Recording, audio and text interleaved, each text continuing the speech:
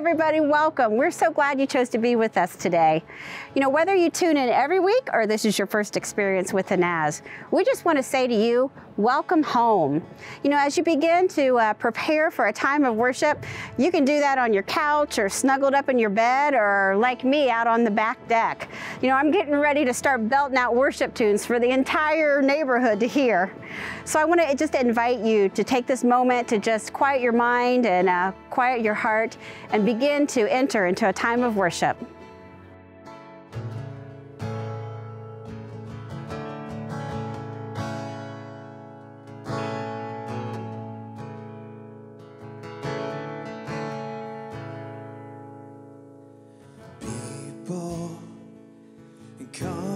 Together, strangers, neighbors, our blood is one. And Children of generations of every nation of kingdom come. Don't let your heart be troubled Don't fear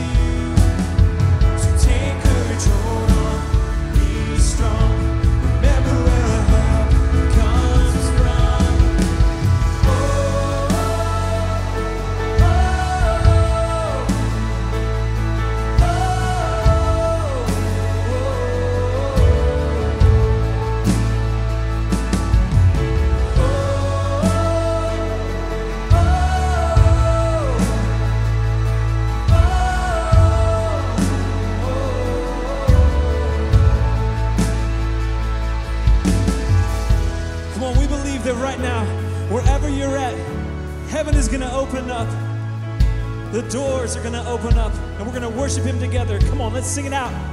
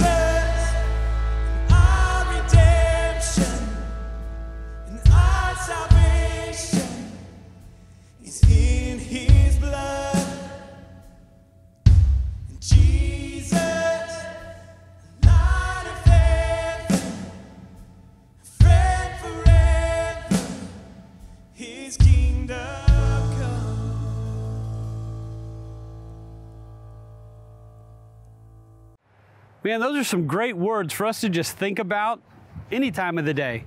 Don't let your heart be troubled. Hold your head up high. Don't fear no evil. Fix your eyes on this one truth God is madly in love with you. So take courage, be strong, and hold on. Remember where your help comes from. Our help comes from the God who created all of heaven and earth. And during this crisis and COVID and pandemic that's going on around the world, uh, we don't have to fear the things that are going on around us. We can take the time to focus on God and let Him do what He wants to in and through our lives. If you're worshiping with us for the first time, we're so happy that you've chosen to gather with us. Uh, you can go to the naz.church slash connect, and there's a place there where you can click and say, I'm new here. Uh, we would love to hear from you. Uh, pass along some information if you have any questions. Uh, so just click that button, ask us any questions that you may have. Uh, we would love to take a moment just to chat with you. Uh, if you've been going to the Naz for a while, you still have the opportunity to find a way to connect in a small group or a class. Uh, just go online and, and click that you're ready to connect in a small group, and there will be somebody who will contact you. Uh, we've come to the moment in our service where we normally take up our tithes and offerings and we receive prayer requests. So if you have a prayer request that you would like to give us, someone in your family that you would like us to pray for, we would consider that a great honor. In fact, our prayer coordinator, Bill Bowen, has groups of people that he's sending these requests to and they're praying for them every day. So take a moment to do that. Uh, we won't be passing plates today. But I want to take a moment to thank uh, those of you who are part of the Naz family for your continued generosity in supporting us and the things that are going on uh, here at the Naz and out in the community. We've been able to be effective in reaching out in the community, continuing to provide meals for students. Uh, this week, we were able to uh, share Christ's love with a lot of the nurses and doctors here in Grove City at our local hospitals. It's because of your generosity that we've been able to do those things.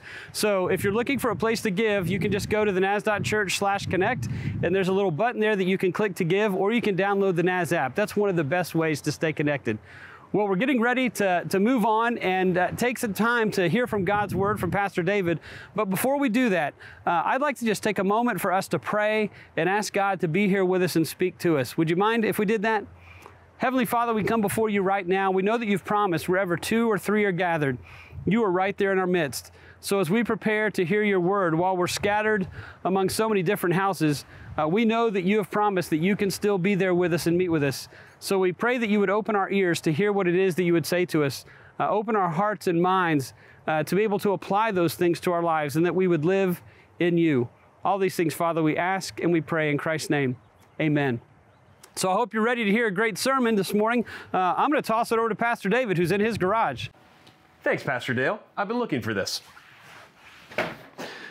You see, welcome to my home. Normally, if you would come visit, I would invite you in through the front door. And I would maybe take you to the kitchen table or the living room, you know, a freshly decorated, clean space that maybe has been painted and has some nice things on the wall. And when you came into my house, I probably wouldn't say to you, hey, would you like to see my basement?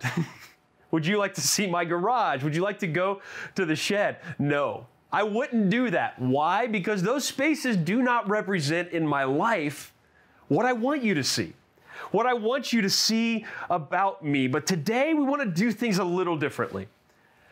We want to be a little bit raw, a little bit real, and I want to take you to my garage.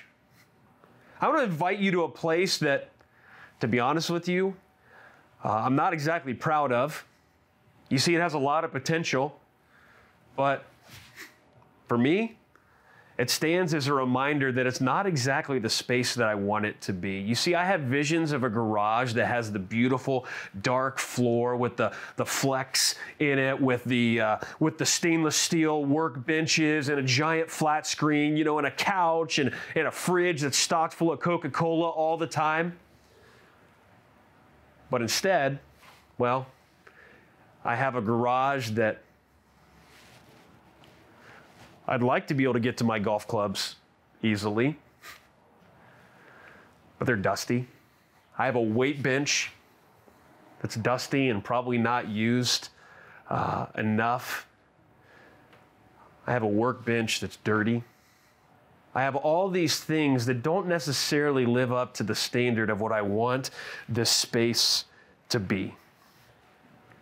And honestly, it kind of stands as a reminder to me of failure, of a space that's not the way that I want it to be, of good intentions that maybe weren't followed through on.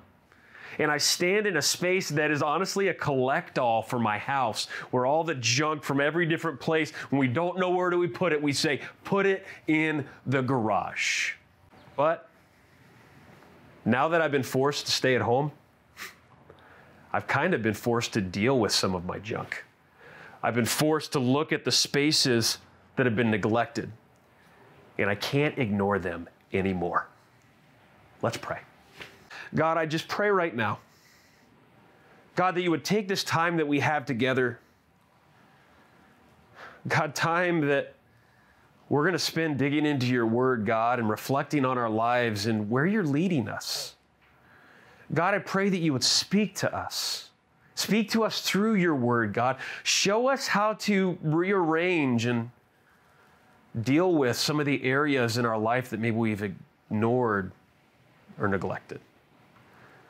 God, we open up our hearts to you today. And we say, Jesus, lead us, talk to us. In your name we pray. Amen.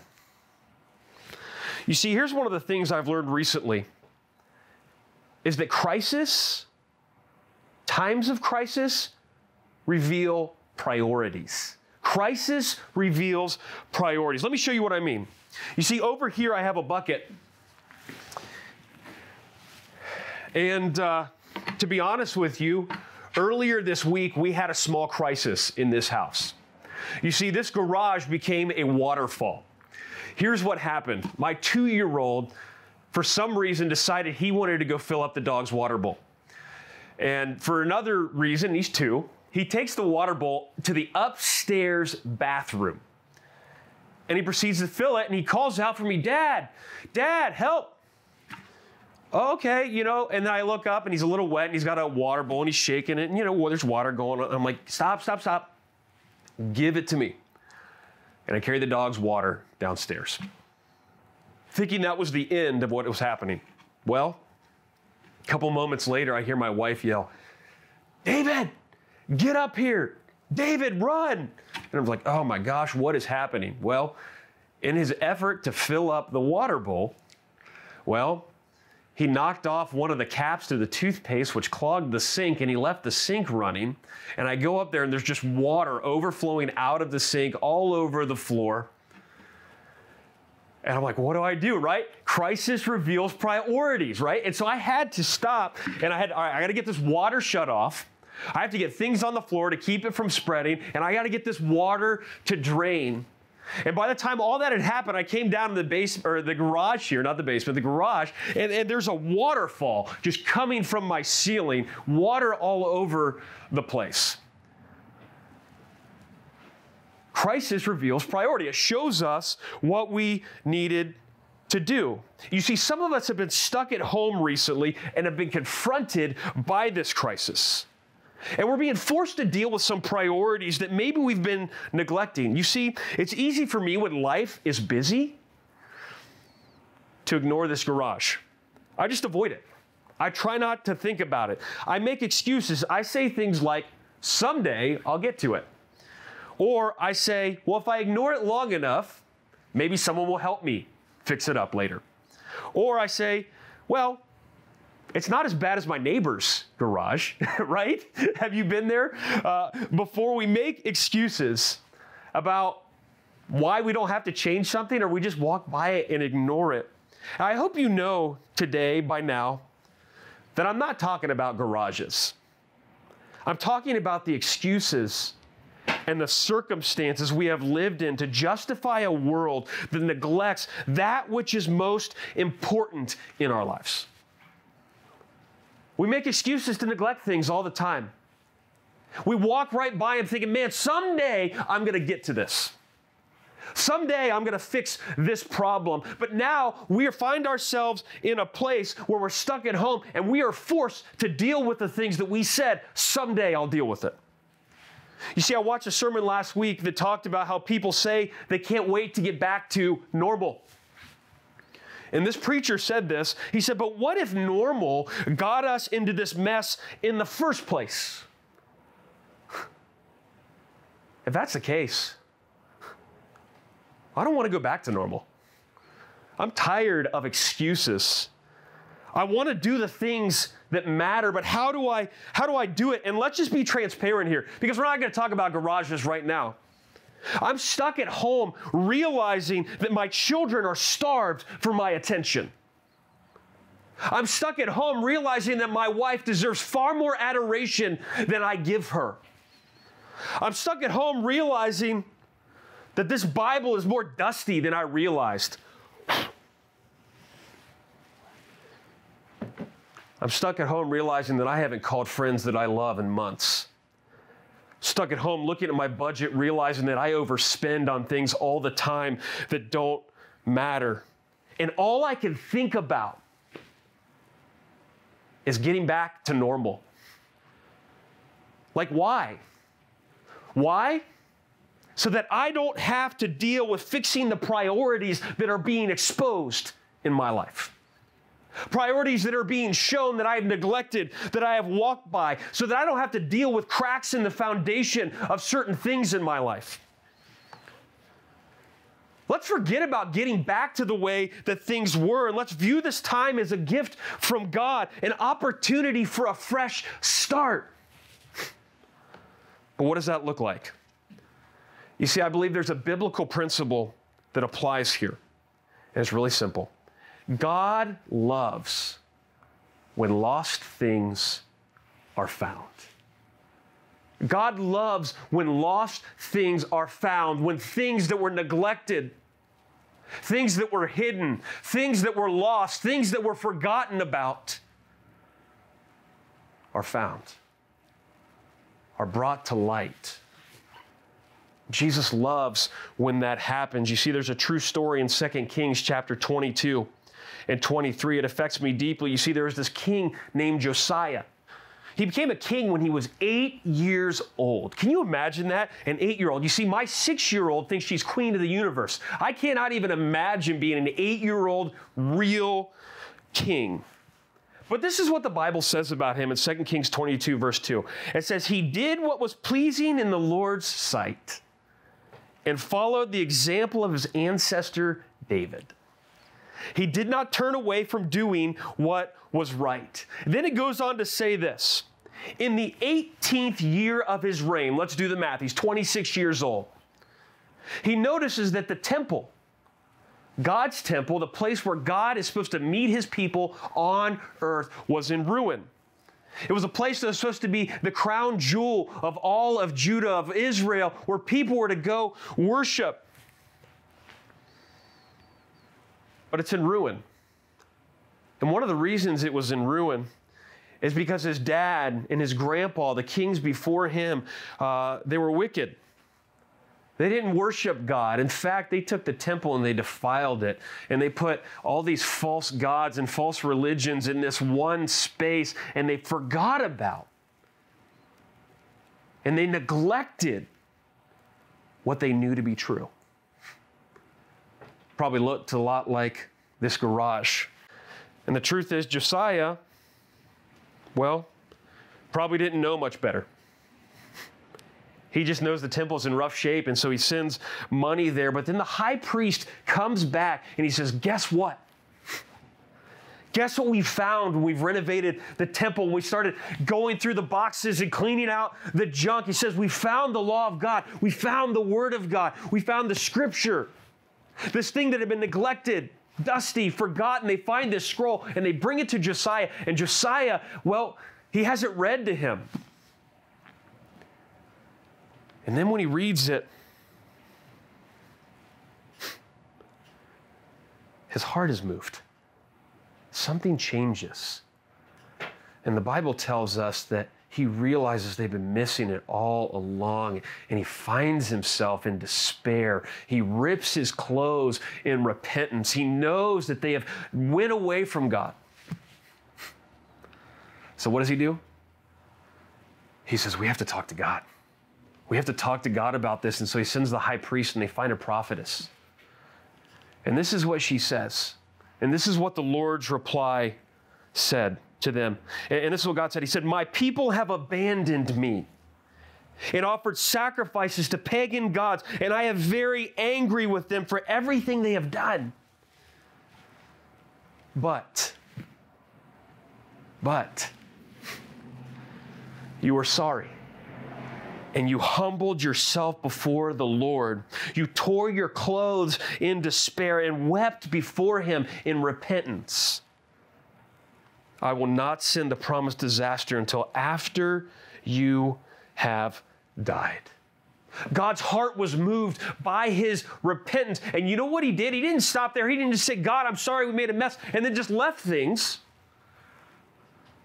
The Bible tells us that he went through the process of removing every false idol out of that temple and out of people's homes.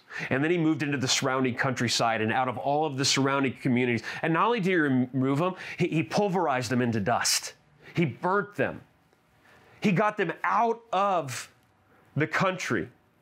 He took a step after repentance. After he died, this is what was said about Josiah. 2 Kings 23, verse 25. It says, Never before had there been a king like Josiah, who turned to the Lord with all of his heart and soul and strength, obeying all of the laws of Moses. And there has never been a king like him since. Here's what I want to say to you. Josiah's legacy was not defined by the first 18 years of his rule.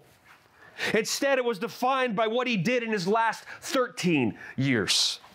You see, your legacy, how you'll be remembered, your effectiveness isn't defined by the start necessarily, but by how you respond to what God reveals to you right now. What do you do with what God is exposing and, revealing to you in your life? That's what defines your legacy. That's what defines your purpose in life. That's what defines how people will remember you and see your life. What lost things are is God showing you? Do you have a choice to respond to? You see, Josiah could have had all sorts of excuses he could have given God. He could have said, Well, God, it's really this way because my dad wasn't a good guy and I blame him. Uh, or, or maybe he could have ignored what he heard and he said, well, let's just let the next guy deal with it. Or he could have said, you know what, this is such a huge task and it, it paralyzes me. I'm not really totally sure what to do because people will probably be upset with me and I'm not sure, and so I'll just stop and not do anything. You see, one thing I've learned when cleaning up spaces in our lives is it requires one step at a time. One step at a time. Josiah's first step was to listen. When he heard the law of God, the Bible said he listened. And not only did he hear it, he moved it from his head, from his ears, down into his heart, and it affected him. God, when I'm dealing with things in my life, God, give me a sensitive heart, not just to, not just to listen, but to hear. To really hear. Step one. Step two is the harder part, I think. Because the Bible said because he heard with his heart, it drove him towards repentance. It drove him to say, Sorry. God, we missed it. We've messed up. But repentance doesn't stop there. And the final step is he had to follow through with his repentant heart. He had to say, You know what? I've made a mess. There's a mess. Whether it's my fault or not, there's a mess here, and it grieves the heart of God. And so I have to take a step towards making a difference towards doing things the right way. You see, in a moment, I want to spend some time talking through the things that cause us to not take the steps we need to take. Sometimes I believe that we get paralyzed by our shame. Paralyzed by our guilt, paralyzed by what we've done, paralyzed by the mess that we see, and not sure what to do. We're going to talk about that in just a moment. But we remember that cleaning up the mess requires one step at a time. And when Jesus is present, when Jesus is a part of the process, it changes everything. Let's worship together.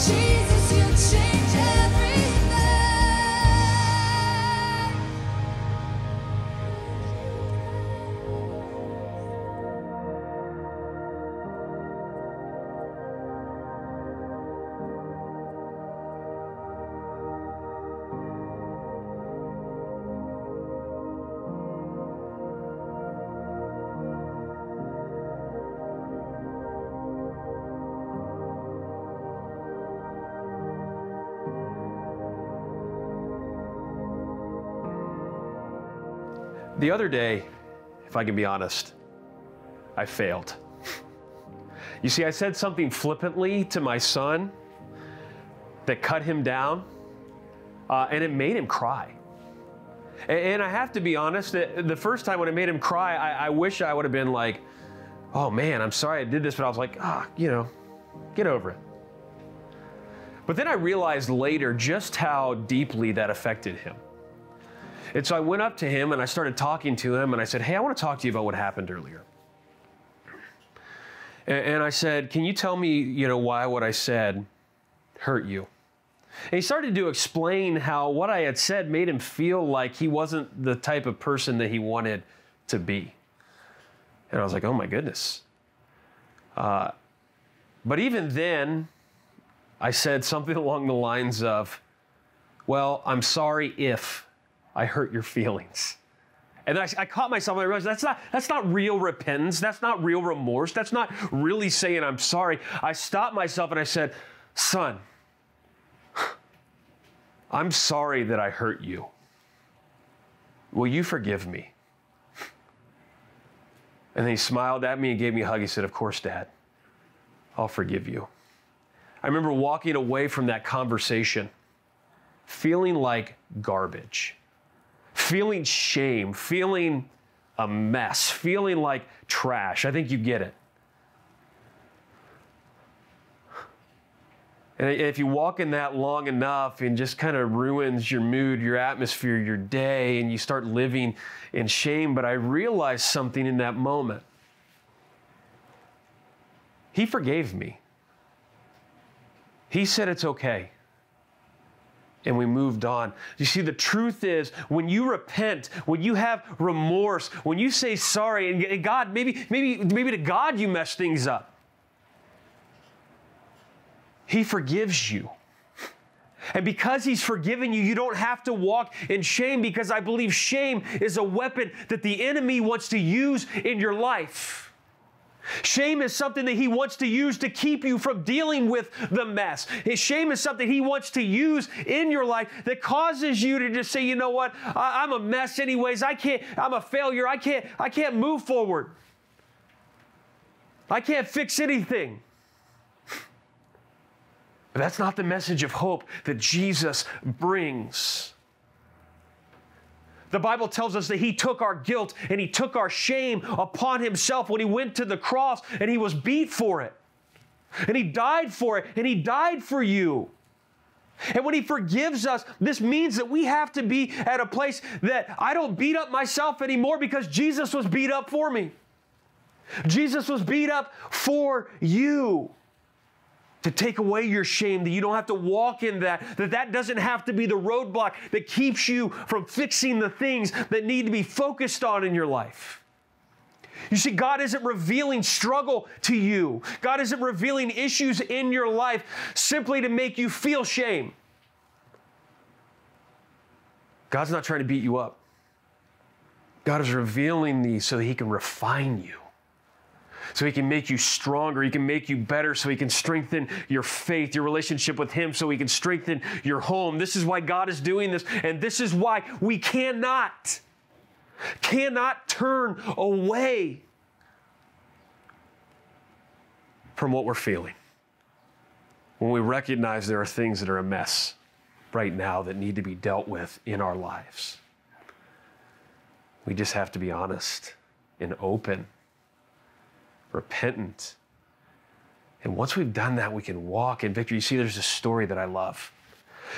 And it's a story that I think represents most of our lives. It's found in the book of Luke, chapter 15. You see, Jesus loved to preach in story form, and we call them parables. And he talks about a young man who looks at his father and he says, Dad, I'm kind of done with you, and can I just have my inheritance now and I will leave? In other words, Dad, I wish you were dead. Can you just give me the money now and I'll leave you behind, right? And the Bible says that he goes off and he lives his life extravagantly, worrying about himself, but he runs out of money eventually. And there's a famine that happens in the land. And eventually he finds himself working with pigs in a pig trough. And he was so hungry, he was looking at the food that the pigs were eating. And he says, I'm not even able to eat this stuff. I, I wish I could. It looks good, but, uh, but his employer wouldn't let, even let him have that food. And the Bible says this it says, and then he came to his senses.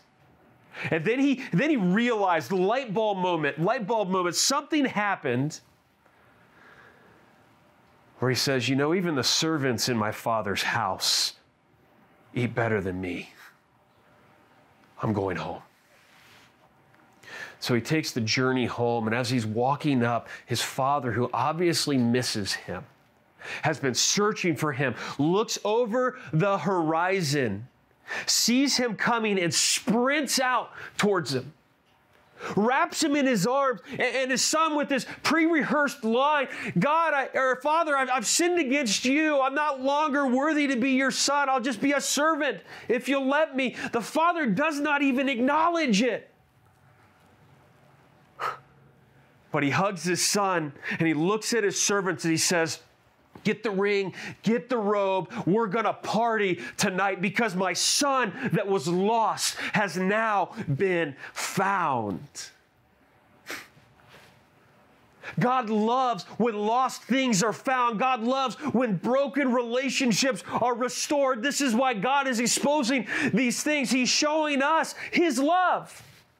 That no matter what we've done, no matter what you've done to make a mess, that God still is going after you and wants to wrap his arms around you and say, Welcome home. That's what we call this series Welcome Home. Welcome home with your mess. Welcome home with your dirty garage. Welcome home with your, your broken spaces and, and the different things that you've done wrong. You know what God wants? He just wants you to come home. He wants you to take that step towards Him. You may be in a place today where you'd say, you know what? I feel like I'm in such a mess. I'm paralyzed by my shame, what I've done. You don't have to live in that. Jesus, with his arms open, would say, Welcome home. I've been watching for you. I've been waiting for you. I'm looking for you. And when you take the step towards Him, it's so simple. We just say, Jesus, we messed up. We've made a mess of things. Forgive us. That's called repentance. And Jesus doesn't stand there and say, Well, you know what? You shouldn't have done this. You shouldn't have done that. I can't believe. Jesus doesn't give you the business over it.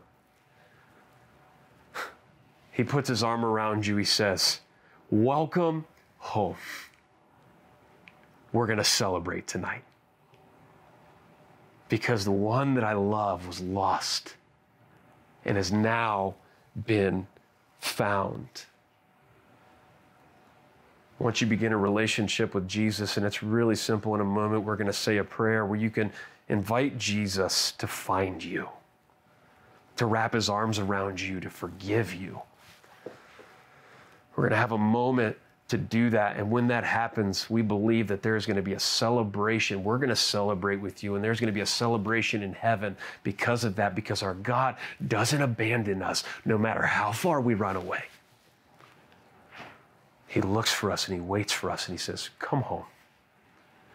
Now, some of you could say, you know what, I have a relationship with Jesus already, but as I've been through this stay put stuff and as I've been at home, there has just been areas in my life that have been brought to the surface, that have been shown. And I'm paralyzed. You don't have to be paralyzed. You see, Josiah's legacy that I mentioned earlier wasn't defined by the first 18 years, but the last 13 years of his life where he heard what God was saying, he responded with repentance, and then he took a step to follow through. Maybe that's what God's calling you today towards. Maybe it's a repentant conversation with a child, with your spouse, or maybe even with Jesus himself, saying, you know what, I've messed up, things aren't perfect. Forgive me, and I'm going to do my best to correct my legacy. You see, here's the thing my garage isn't perfect, not even close. But I can tell you this it's a work in progress. It doesn't have to stand as a reminder of my failures, but it reminds me of opportunity ahead of me, of places that I can go to become the person I want to be. My garage can become the place I want it to be. But God is worried far more about us, who we are, who you are, that you don't have to be perfect. You just have to be willing to move forward and to change because this time that God has given you is a gift, an opportunity. An opportunity to be the person, the man, the woman, the husband, the wife, the son, the daughter, the friend, the brother, the sister, the leader that He's called you to be. Would you pray with me? God, we just thank you for your word. God, we thank you that we get to use simple places like garages that stand as reminders of the messy things in our lives. The things that we wish were better, and quite often during normal times we neglect them. God, we thank you that during this time, you are giving us an opportunity in this crisis to assess our priorities.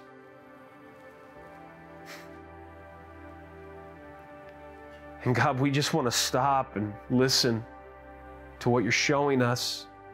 And we want to say, God, forgive us for the times we've messed up. God, help us to make sense of this, maybe, or help us to, to maybe start reorganizing things or moving things around or to take a next step, God, so that after we repent, things can begin to heal and be restored. God, I pray for marriages, God. I pray for families, God. I pray for relationships. God, I pray for people's relationships with you, God, people that know you, that feel distant from you, God. May they feel your love, God, and may they not walk in guilt. God, may they not live in shame, but may they return to you. Father, for my friend that doesn't have a relationship with you, we just say a prayer. And if that's you right now, just repeat after me where you are. You may look a little silly, but who cares? Say, Jesus, forgive me. I want to come home. Lead my life. Be my guide. Save me, Jesus.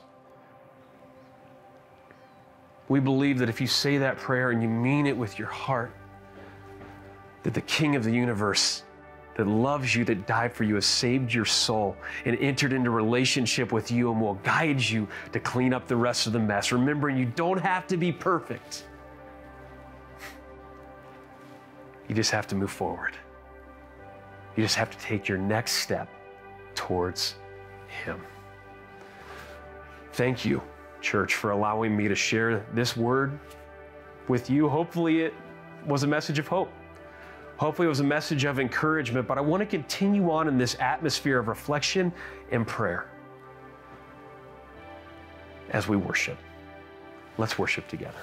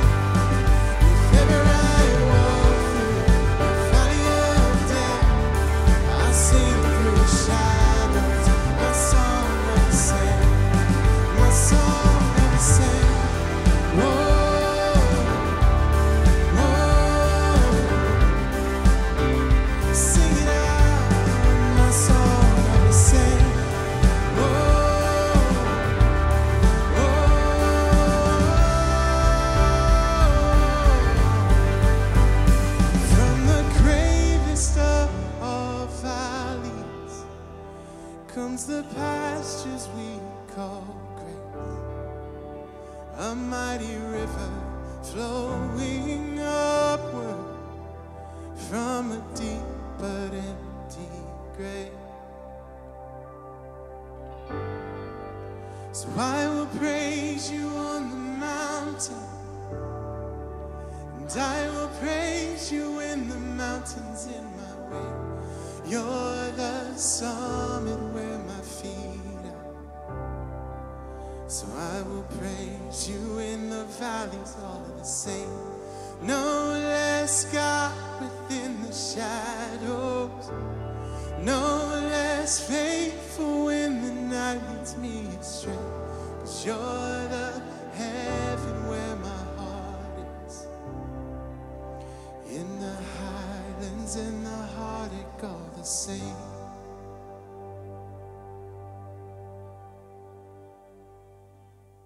Well, it's been great worshiping with you today. Isn't it wonderful to know that whether life is on the top of the mountain or whether you feel like you're down in the valley, that if your feet are planted firmly on Christ, He's the summit of our life. It's so great to know that that's going on uh, for you and for me. In fact, if you've prayed with Pastor David just a moment earlier and accepted Christ as your Savior, uh, the Bible says that heaven is rejoicing.